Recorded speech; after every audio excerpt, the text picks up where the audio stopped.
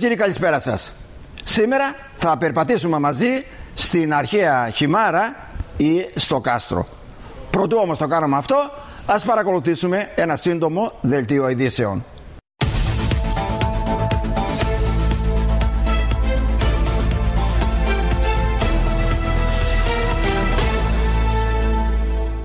Αν και έχουν περάσει δύο και πλέον εβδομάδες από την έναρξη του νέου σχολικού έτους 2020-2021, τα παιδιά των σχολείων της Εθνικής Ελληνικής Μειονότητας δεν έχουν πάρει στα χέρια τους τα σχολικά βιβλία. Αυτό επισημαίνει στην κάμερα της εκπομπής μας ο διευθυντής του Γραφείου Παιδείας που λειτουργεί τώρα στη Φινίκη με αρμοδιότητα τα σχολεία των δύο Δήμων, Ζήσος Λούτσης, προσθέτοντας πως υπάρχει σκέψη τα παιδιά να πάρουν προσωρινά παλιά βιβλία. Μέχρι στιγμής ε, έχουμε τη δέσμευση του Υπουργείου ότι θα έρθουν ε, εντός ε, του μηνός αλλά σε συνέχεια όμως έχουμε λάβει τα μέτρα ώστε με παλαιά βιβλία να συνεχίσουμε όσο του να φτάσουν τα καινούρια βιβλία. Αυτό είναι ένα διαχρονικό πρόβλημα που εμείς ως διεύθυνση προτείνουμε στην κυβέρνηση να το λύσουμε έγκαιρα και διαφορετικά για τις επόμενες χρονιές γιατί φέτος είμαστε πάρα πολύ αργά. Ακόμη, ο κ. Λούτσης μιλά στην κάμερα της εκπομπής μας για τη συνάντηση που είχε πρόσφατα με τους δύο δημάρχους, τον κύριο Κίτσου του Δήμου Φινικαίων και τον κύριο Τόλι του Δήμου Δερόπολης και Πογονίου, και που στο επίκεντρο ήταν η αναβάθμιση της παιδείας στον χώρο της εθνικής ελληνικής μειονότητας, αλλά και άλλα προβλήματα που έχουν τα σχολεία μας σήμερα. Από τις ε, ε, επισκέψεις που κάνουμε στα σχολεία αυτό το διάστημα για να παρατηρήσουμε την ε, έναρξη των μαθημάτων παρατηρούμε ότι οι διευθυντές και κυρίως οι δάσκαλοι έχουν δρομολογήσει το μάθημα ανά τάξη και ανά μάθημα ε, αλλά ταυτόχρονα όμως ε, αφιερώνουν και μια μεγάλη προσοχή για την ε, προστασία της υγείας των μαθητών. Ε, ξέρετε ότι η διεύθυνση είναι μια, ας πούμε, μια γραφειοκρατική δεσμίδα η οποία λειτουργεί στα πλαίσια της, του Υπουργείου Παιδείας και δεν έχει τις πολιτικές αρμοδιότητες για να επέμβει στην κυβέρνηση για να λύσει τα θέματα αυτά. Όμως εγώ θεωρώ ότι η Δήμαρχη είναι ένας σοβαρός κρίκος ο οποίος μπορεί να βοηθήσει στην επίλυση αυτών των προβλημάτων που αντιμετωπίζει η παιδεία στον τόπο μας. Και συζητήσαμε μαζί ούτως ώστε εμείς ως επαγγελματίες εκπαιδευτικοί και ε, κυρίως ε, επιστήμονες δηλαδή του, του τομέα δηλαδή, της σύνταξης των βιβλίων που είναι και το Πανεπιστήμιο Αιλοκάστρου αλλά και έμπειροι εκπαιδευτικοί. Να συγκροτήσουμε την ομάδα της μελέτης για τα προβλήματα της παιδείας που αντιμετωπίζει τόσο ώστε η παιδεία παράλληλα να εκπληρώσει το, τους ε, στόχους της ε, που είναι η καλή εκμάθηση των μητρικών γλωσσών ε, για τα παιδιά τα οποία είναι Έλληνες και για τα παιδιά που είναι Αλβανοί στην περιοχή τη δική μας. Υπάρχει μια ιδιαιτερότητα όπως τη γνωρίζετε και εσείς που είστε έμπειρος σε αυτό ότι τα προγράμματα για την εθνική ελληνική μειονότητα πολλές φορές αλλάζουν μάλλον δεν έχουν καθιερωθεί ακόμα καθώς πρέπει για να μπορέσουμε να έχουμε και εμείς ε, άξονες ε, στην ε, εκπαίδευση των μαθητών.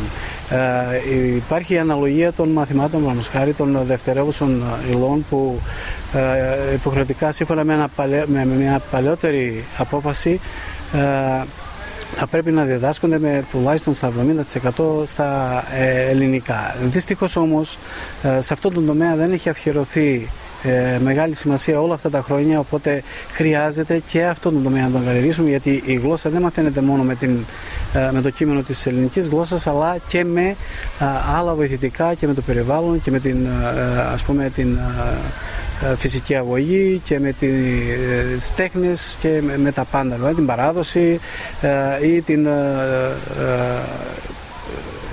τεχνολογική εκπαίδευση, όλα αυτά θα πρέπει να συγκροτηθούν ε, επιστημονικά και να προταθούν στην κυβέρνηση. Σε αυτή την προσπάθεια δηλαδή χρειαζόμαστε την αρρωγή και τη βοήθεια την πολιτική που οι πρώτοι αυτοί είναι οι τοπικοί άρχοντες που μπορούν να είναι δίπλα μας στην, ε, συνάντηση και αυτό ζητήσαμε από τους δημάρχους να είναι μαζί μας στην πρόταση που θα κάνουμε στην νέα Υπουργό και, στο, και στον Πρωθυπουργό με σκοπό αυτή η διεύθυνση παιδείας να μην παίξει απλώς ρόλο τεχνικό αλλά να παίξει και ευρύτερο ε, ρόλο για όλη την ε, ελληνική παιδεία στο χώρο μας, ναι. γιατί όχι και για την ε, αλβανική παιδεία. Γιατί όπως ξέρετε δεν μπορεί να είναι τα ίδια κείμενα, να διδάσκονται δηλαδή με τα ίδια κείμενα, με τα ίδια σχολικά κείμενα, τα ίδια χειρίδια, η αλβανική γλώσσα στους μειονητικούς. Μπορούμε να έχουμε ένα πρόγραμμα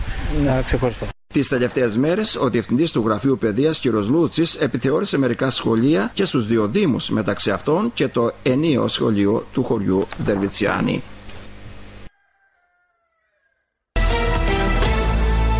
Τα αποτελέσματα του ελέγχου υλοποίησης του προπολογισμού του Δήμου για το οκτάμενο που πέρασε ήταν το βασικό σημείο της ημερήσιας διάταξης του Δημοτικού Συμβουλίου του Δήμου Δερόπολης και Απογονίου στη συνεδριασή του της περασμένης Τρίτης. Είμαστε δεκτοί με το πρόγραμμα που έχουμε σήμερα. Ναι. Με τη μερίσια διάταξη. Είμαστε σύμφωνοι, με έχει κανένα κανένα πρόβλημα. Αν θα, με το, δεν έρθανε τα χαρτιά, δεν περνάμε κανένα από τάρτα, για τάρτα αν θα προσέξετε, το Δήμαρχο, πιστεύω πήρατε χαμπάρι όλοι. Αρχικά ο οικονομολόγος Χριστάκης Λέγκος αναφέρθηκε στην υλοποίηση του προϋπολογισμού για το οκτάμινο επισημένοντας πως γενικά ο προϋπολογισμός υλοποιήθηκε και οι φόροι συλλέχθηκαν αν και υπήρχαν και αποκλήσεις. Τέσσερα χρόνια στο χρόνο να γίνεται η ανάλυση παρακολούθησης του, της εκτέλεσης του προϋπολογισμού. Το πρόγραμμα κάνουμε τρεις φορές και χρονέως. Κάναμε το τετράμινο, τώρα έχουμε το οκτάμινο.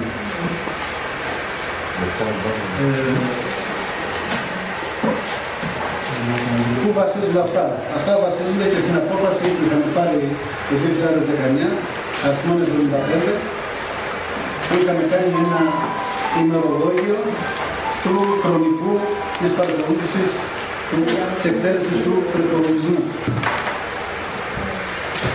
ε, με, με έγγραφο στις αρχής της χρονιάς ο προϋπολογισμός είχε σταθεί σε κάθε διεύθυνση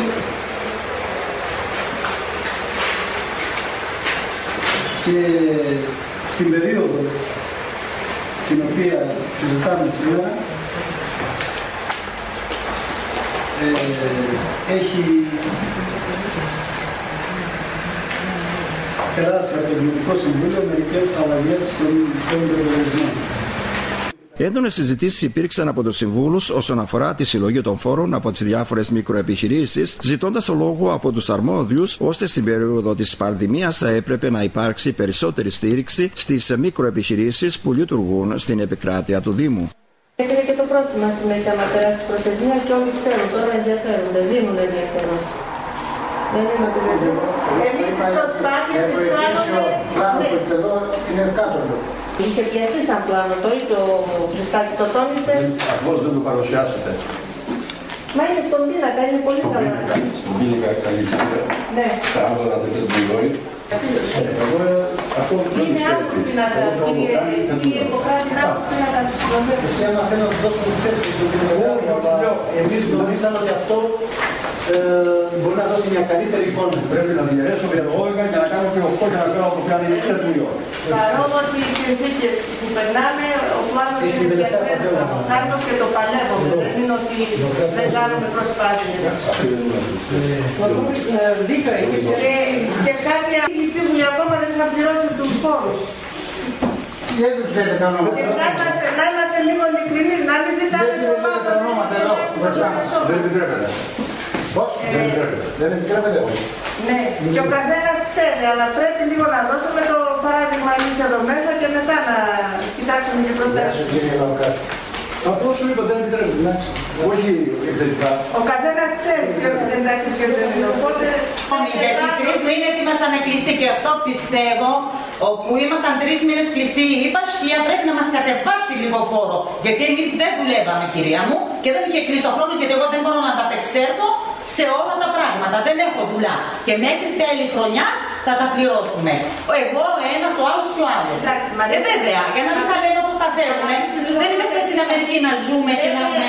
Λέμε μέχρι το τέλος της χρονιάς. Ναι, μέχρι το τέλος της χρονιάς. Εσείς εδώ ψηφίζετε έναν προπολογισμό. Και πότε μου γίνεται με ένα κυρία μου. Εγώ δεν έχω δουλειά, θα το πω, θα πάει να ζητήσει αν έχω το Σε παρακαλώ, το τέλος της χρονιάς λέμε το τελευταίο κλέστη. Ναι. Είναι με δόση, δηλαδή τελευταία δόση να ολοκληρωθεί πέντε μηνών. Να σου Εγώ- κάνω μήνες. Ναι. Δύο μήνες. Τι, ε, τι κατηδράσει κάνατε οι δύο μήνες από το φόρο ε, του 12 μήνες. Όχι. Από την Πασκία. Η ερώτηση είναι απλή. Ένα νόμο για να κατηγούν οι φόροι. Ο φόρος θα πληρωθεί, είπαν εκτός από τα τίμη και του Αρδέα, υπολιαστό εκνού το πακούε. Πού θα περιμένεις νόμο εσύ. Τι νόμο να περιμένω; Για να Ρωτήστε κατεβάσει και το λίγο μήνυμα. παρακάτω στις βασίε του κάτω. Εμεί ήταν την Εγώ δεν ξέρω τι κάνει η Πασχέ του Κάστρο, εγώ ξέρω τι κάνει η Πασχέ δικιά μου. Εμείς τους φόρους που έχουμε εδώ, γιατί οι άλλοι μπορεί να τους κατέβασαν, αλλά πληρώνουν και φόρους επιπλέον. Τάξη ενδική με infrastructure, τάξη με μπάκερ. Εμείς έχουμε φόρο καθαριότητα φόρο κτηρίου, πληρώνει ένας Μας, μας, επιχειρηματία. έφερες, μας έφερες εδώ στο Συμβούλιο και δεν το αποφάσισαμε. Σε ρωτάω ευθέω. Τρεις μήνες δεν δουλεύω. Μας έφερες, Στη ναι ή Δερβιτσάνη- όχι. Στη Δερβιτσάνη έκαναν συνέδρωση ειδική για τους φόρους. Δεν έχει Δερβιτσάνη και Γερμουτσάκη. Έχει Μπασκή και Σιού Μπασκιάκη τρόπο. Τι συνέδρωση που είπαμε και είπατε, πήραμε μόνο. Δεν ήφερε τίποτε εδώ, κανένα χαρτί Εμείς να πάρουμε δεν απόφαση δουλεύουμε. ότι δύο μήνες της πανδημίας Ναι. να κατεβεί ε, Εμείς ο δεν ποσοστός δουλεύαμε. του, Δεν του κάθε έχει- πιστές. Δεν έχει για κατατιμία επιβιώσουν κάτι. Και αν δεν δούλεψε. Πληρώθηκα με, με ρώτησες που τα όταν δεν δούλευα και πλήρωνα τώρα με 200 χιλιάρικα το μήνα. Ένα άλλο σημείο για το οποίο υπήρξαν έντονες συζητήσεις και αντιπαραθέσεις ήταν η συλλογή των εσόδων από την επιχείρηση υδραγωγείων του Δήμου. Ε, 50% ε, σε κάθε χωριό έχουν παράνομες τρύπες. Ο γείτονας πληρώνει και εσύ έχεις παράνομη τρύπα. Μπορεί να πληρώσεις ούτως; Όχι. Αυτό να το ακούσει ο Παναγιώτης καλά, το ξέρει πάρα πολύ καλά. Τις παρανομίες του τις έδωγαν γραφτές από το Συμβούλιο, υπογραμμένες από το Διευθυντή του Νερού, από όλα και δεν έκαναν τίποτα. Τίποτα. Να πω λίγο κάτι. Μισό λεπτό. Θα πούμε σαν σύμβουλοι σε όλους τους φοριανούς μας να μην πληρώσει κανένας νερό. Συμφωνώ. Όχι, ακόμα να μην πληρώνω. Μία, αυτή η εταιρεία δεν θα βάλει τάξη στο νερό. Δεν θα πληρώσει κανένας. Όχι να πληρώσουμε. Στην τελευταία συνέδρωση είπαμε θα βγάλουμε τις ποιο πληρώνει, ποιο δεν πληρώνει. Και θα βγει μια επιτροπή να ελέγξει τα χωριά. Εγώ πήγα; Περίμενε. Εμείς κάνουμε το κέφι να δούμε όλα μέσα. Εκεί δεν γίνεται τίποτα. Εμείς δεν με ψέματα όλα μέσα. Όταν λέμε θα βγάλουμε τις και τις βγάλουμε, δεν είναι ψέματα. Δεν το κάνουμε. Εμείς τον είπαμε, πού πάει η επιτροπή; Πάει σε ένα χωριό. Είδε τίποτα. Τίποτα δεν είδε. Το με φάει πάκ. Ό,τι τα κάναμε εδώ, τα λέμε εδώ και θα βρίσκουμε. Εκτός από τα προαναφερθέντα, οι σύμβουλοι συζήτησαν και ενέκριναν και άλλα σημεία της ημερήσιας διάταξης, όπως του κοινού σχεδίου για τη μετάδοση των συσκέψεων των Δημοτικών Συμβουλίων στα κοινωνικά μέσα μαζικής ενημέρωσης, στα πλαίσια του προγράμματος Ισχυρή Δήμη, την παράταση του διασυνοριακού προγράμματος Interreg 2 2014-2020, η εξωτερική δρόμη ανάδειξη του περιβάλλοντος και μεταφορών στη δημόσια υποδομή, την έγκριση του καταλόγου για τα χειμερινά βοσκοτόπια, απόφαση αλλαγής της τάση των λεωφορείων της γραμμής Σεδερόπολη Τύρανα από Γεωργουτσάτε σε Κακαβιά, συζήτηση ετοιμάτων των πολιτών και άλλα. Ο Δήμος Φινικαίων εδώ και πολύ καιρό προσπαθεί να υλοποιήσει μια υπόσχεση για το άνοιγμα γραφείου κτηματολογίου για το Δήμο Φινίκης. Μάλιστα, ο Δήμαρχος κ. Κίτσος για το θέμα αυτό ζήτησε ε, και είχε συνάντηση και με τον Πρωθυπουργό της χώρας κ. Εντιράμα. Εγώ πιστεύω ότι είναι από τα σημαντικότερα θέματα που εμείς έχουμε, το οποίο έμεινε ε, σε εκκρεμότητα ε, τα τελευταία αυτά 30 χρόνια και πιστεύω πλέον είναι ε, αναγκαίο αυτό το θέμα να πάρει πλέον λύση. Ε, για αυτή την ε, σημαντική έτσι, ε, για το σημαντικό αυτό θέμα ε, το οποίο μας ταλαιπωρεί ε, σε όλο, αυτά, όλο αυτό τον καιρό ε, εγώ ζήτησα και πραγματοποίησα συνάντηση με τον Πρωθυπουργό της χώρας ε, και έθεσα στο τραπέζι ε, την επίλυση αυτού του θέματος. Σύμφωνα με τον Δήμαρχο κ. Κίτσιο, αν αναφερθούμε σε στοιχεία, είναι περίπου 50.000 δικαιούχοι που περιμένουν, ενώ έχουν δοθεί μόνο 10.000 τίτλοι ιδιοκτησίας, ποσοστό περίπου 20%. Ε, εάν ε, δούμε κάποια, κάποια στοιχεία τα οποία είναι σημαντικά ε, θα βγάλουμε αμέσως τα συμπεράσματα, τα συμπεράσματά μας με το ότι τι γίνεται αυτή τη στιγμή με το θέμα των περιουσιών στο Δήμο Φινικαίων. Ε, λοιπόν είναι περίπου 6.650 ταπιά σε όλο το Δήμο, ε, είναι περίπου 52.000 τίτλοι ιδιοκτησίας και ε, το κτηματολόγιο ε, έχει δώσει τίτλους ιδιοκτησίας αυτή τη στιγμή μόνο σε 10.000 ε, άτομα. είμαστε δηλαδή στο 20% και αν θα συνεχιστεί με αυτό το ρυθμό θέλουμε άλλα τόσα χρόνια για να πάρει και ο τελευταίος κάτοικος αυτού του Δήμου τους τίτλους ιδιοκτησίας. Το χειρότερο είναι πως υπάρχουν 12 χωριά στα οποία δεν έχουν καν χαρτογραφεί οι περιουσίε των κατοίκων τους και πως γι' αυτό χρειάζονται πολλά χρήματα τα οποία δεν διαθέτει ο Δήμος. Μπορεί όμως να βοηθήσει με τις υποδομές και να εξυπηρετήσει καλύτερα τους πολίτες. Πέρα από αυτό υπάρχει και κάτι χειρότερο το οποίο ε, θα πρέπει να επιληθεί άμεσα. Είναι 12 χωριά τα οποία δεν έχουν χαρτογραφηθεί ε, καθόλου ε, και είναι ένα θέμα το οποίο χρειάζεται και οικονομική στήριξη γιατί αυτή τη στιγμή το Δημαρχείο από μόνο του δεν μπορεί να πραγματοποιήσει τη χαρτογράφηση για αυτά τα 12 χωριά. Γι' αυτό το θέμα το οποίο είναι πάρα πολύ σημαντικό.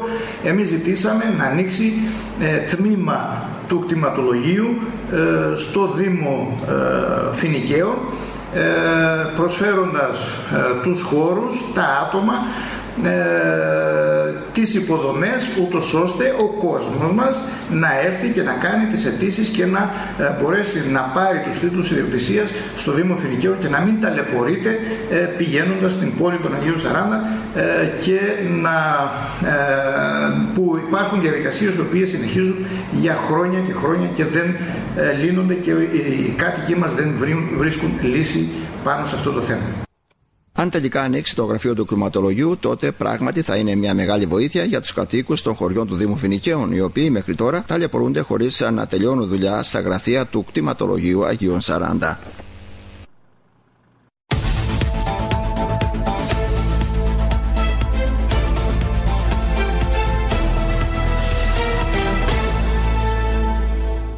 Κορί του βουλού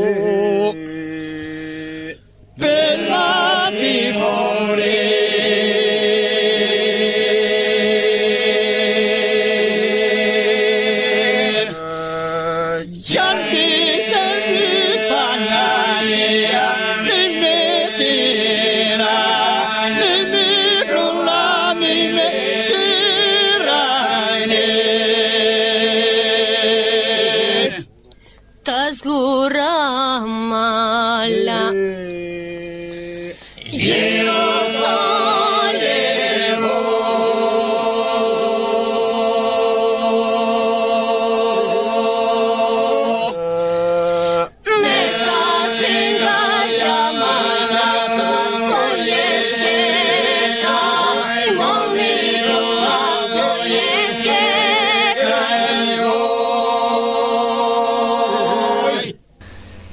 Μέρα Σεπτεμβρίου παρέα με τις δύο κάμερές μου και με ξαναγώ τη φιλόλογο δασκάλα του σχολείου Όμηρος Χιμάρας Παναγιώτα Νεράντζη είπαμε να περπατήσουμε που αλλού στο περίφημο κάστρο που δεσπόζει πάνω στο λόφο στην παλιά Χιμάρα εκεί που στην πραγματικότητα υπήρξε η πραγματική η αρχαία Χιμάρα. Πρώτο όμως ξεκινήσουμε το περπάτημά μας, η Παναγιώτα άρχισε να μας μιλά για τη Χιμάρα και το κάστρο και ξεκίνησε με την ίδια την ετυμολογία του ονόματός της. Η ιστορία της χημα... του κάστρου είναι συνυφασμένη με την ιστορία της χιμάρας. Η ιστορία της χιμάρας είναι μακραίων. Ξεκινάει με την αρχή του κάστρου, αλλά θα ήθελα να σας πω δύο πράγματα για την ονομασία της χιμάρας. Η ονομασία της χιμάρας έχει δύο εκδοχές. Η μία εκδοχή μας λέει ότι ονομάστηκε χιμάρα με γιώτα και ναρό επειδή πήρε το όνομά της από τη χήμερα την οποία κυνήγησε ο Βελερεφόντης. Ε, η χήμερα όπως όλοι γνωρίζετε είναι ένα μυθολογικό πέρας το οποίο είχε κεφάλι πεταλιού, σώμα κατσίκας και ουρά φιδιού. Ε, η δεύτερη εκδοχή, την οποία τη συναντάμε πολύ αργότερα και γράφεται με ε και δύο ρο, εικάζεται ότι έχει προέρθει επειδή στην περιοχή υπάρχουν πολλοί χήμαροι. Ε, ως σωστό θα μπορούσαμε να πάρουμε και τις δύο εκδοχές. Δεν μπορούμε να αναρέσουμε κάποια. Ε, η Χιμάρα ανέκαθεν ήταν μια σημαντική πόλη. Ένα προπύργιο θα μπορούσαμε να πούμε κατά τους αιώνες.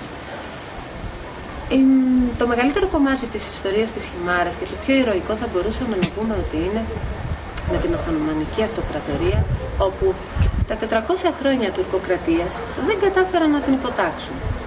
Διότι οι ηρωικοί χιμαριώτες αλλά και το δύσβατο της περιοχής τους βοήθησε ώστε να μπορέσουν να ανταπεξέλθουν και να επιτίθονται στους Τούρκους χωρίς εν τέλει να καταλαμβάνουν την περιοχή. Ε, το μόνο που κατάφεραν οι Τούρκοι ήταν ουσιαστικά να την υποτάξουν εντός εισαγωγικών πάλι δίνοντας οι Χιμαρέοι ένα φόρο ουσιαστικά αναγνώρισης της Οθωμανικής Αυτοκρατορίας. Όμως, με αυτή τη συνθήκη είχαν κερδίσει και πάρα πολλά προνόμια. Ορισμένα εξ αυτών ήταν ότι μπορούσαν να πηγαίνουν στους ανώτερους τους οπλισμένοι. Τα καράβια τους ήταν ελεύθερα να πηγαίνουν στην Κωνσταντινούπολη χωρίς να ελέγχονται και ελεύθερα. Στη συνέχεια η Παναγιώτα μας λέει ότι η ιστορία του κάστρου είναι συνυφασμένη με την ίδια την ιστορία της Σιμάρας και που έχει τις απαρχές της πριν από τη νέα εποχή και αυτό το αποδεικνύουν και τα τείχη με τους ογκόλιτους που υπάρχουν σε αυτό. Λοιπόν, η ιστορία του κάστρου της Χιμάρας ή αλλιώς Μπαρμπακάς είναι συνυφασμένη με την ίδια την ιστορία της Χιμάρας, την πόλη της Χιμάρας. Διότι η πόλη της Χιμάρας είναι ουσιαστικά το κάστρο είναι χτισμένο κατά τον 13ο αιώνα π.Χ. Όταν θα πάμε στο κάστρο θα δούμε και τα τείχη τα οποία αποδεικνύουν ε, τα αρχαιολογικά ευρήματα μας έχουν πει ότι το πιθανότερο είναι η χρονολογία αυτή να είναι 13ο ή 14ο π.Χ. αιώνας. Αργότερα το κάστρο έχει δεχθεί επιδιορθώσεις και επισκευές κατά τον 5ο, τον 4ο αλλά και αργότερα τον Ιουστινιανό. Το κάστρο της Χιμάρας δεν ήταν απλώς ένα κάστρο, όπως φανταζόμαστε ένα κάστρο με τείχη, αλλά ένα κάστρο πόλη που είχε μέσα τους αναούς αλλά και τις οικίες και είναι χτισμένο πάνω στο λόφο όπως όλες οι ακροπόλεις ώστε να έχει πρόσβαση προς όλες τις κατευθύνσεις. Το κάστρο της Χιμάρας δεν είναι αυτό που κατανοούμε από τη λέξη κάστρο ότι θα έχουμε ένα συγκεκριμένο κτίσμα το οποίο θα έχει τριγύρω απλά τείχη. Όχι. Το κάστρο της Χιμάρας ήταν ουσιαστικά κάστρο πόλη, όπου μέσα είχε τους ναούς, τους αρχαίους ναούς, αλλά και τα σπίτια όπου διέμεναν οι άνθρωποι. Και αυτό συνεχίστηκε και συνεχίζεται έως και τώρα. Θα δούμε διά, ε, εκκλησίες τις οποίες τις έχουμε επισκευάσει, ε, ίσως τις έχουμε συντηρήσει, όχι όλες, αλλά όσες μπορούσαμε. Το κάστρο είναι χτισμένο ναι. πάνω στην κορυφή ενός λόφου όπως ήταν χτισμένα και όλα τα, ε, όπως ήταν χτισμένες και όλες οι αρχαίες ακροπόλεις.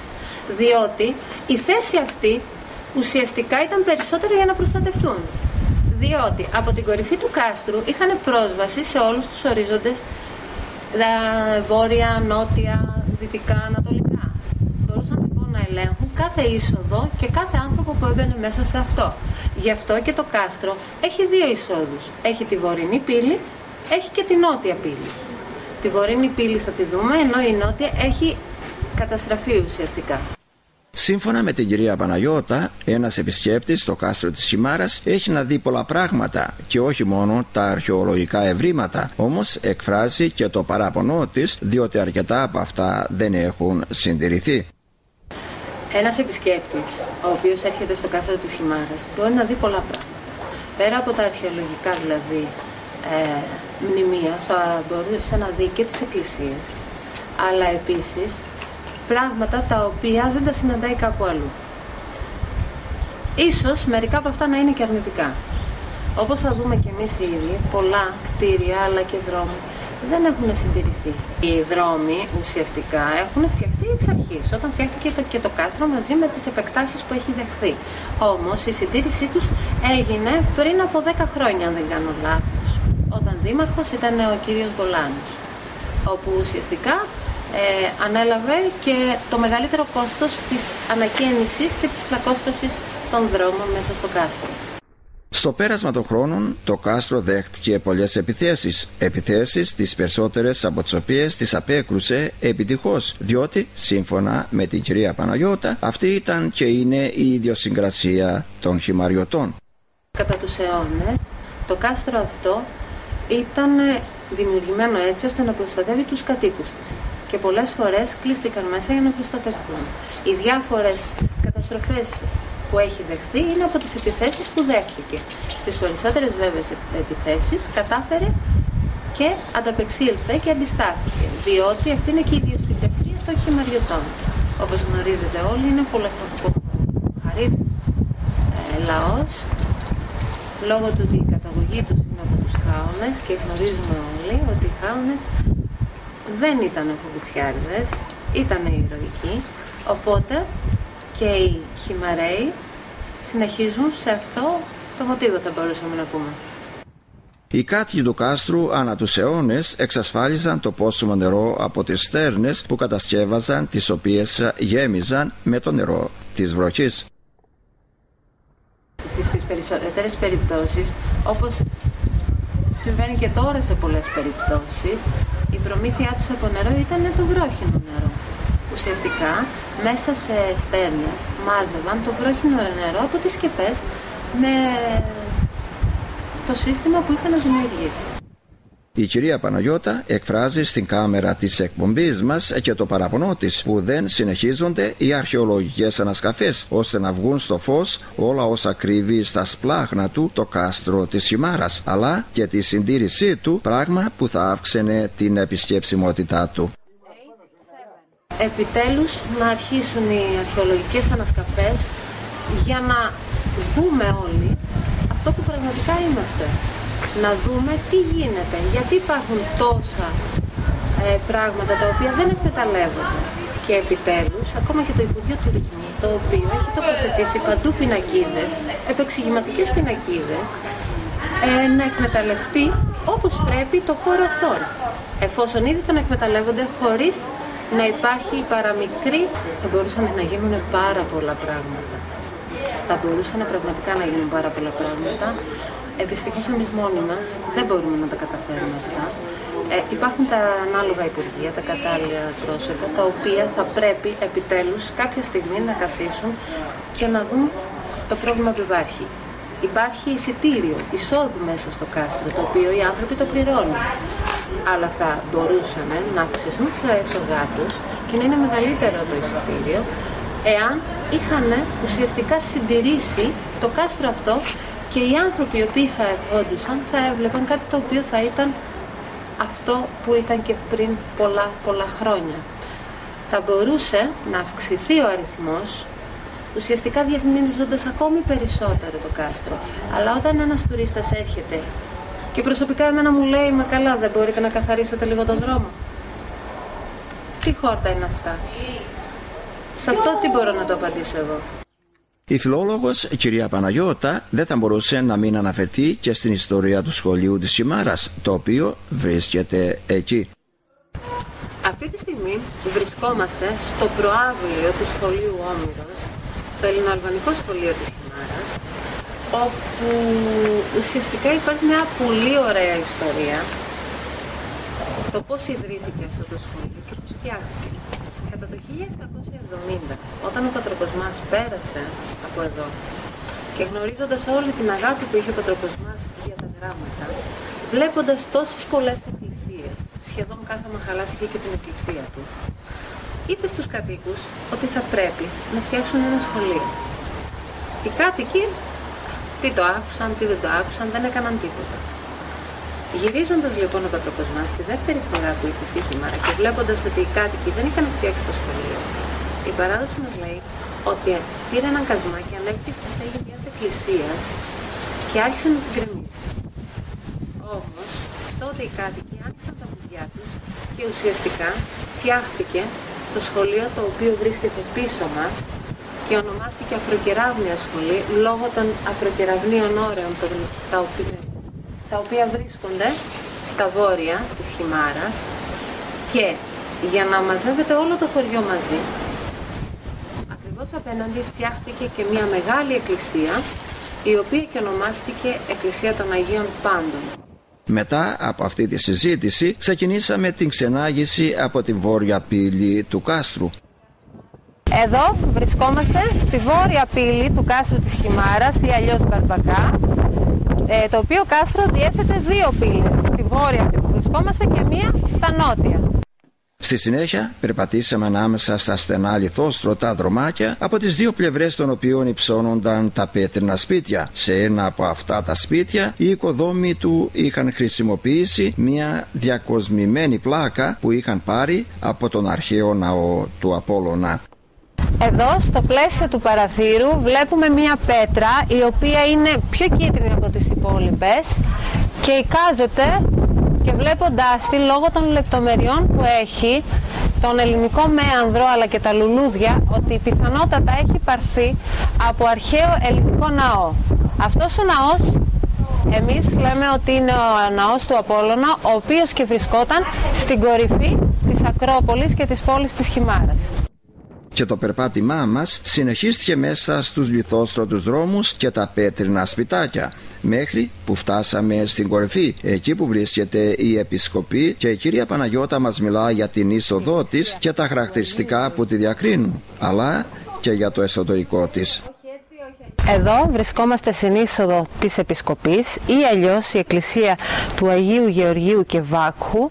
Η είσοδος αξίζει να μνημονευθεί για τους εξής λόγους, διότι όπως βλέπουμε, ακόμα και η πέτρα ψηλά είναι σκαλισμένη στη μορφή ε, του ράμφους του αετού.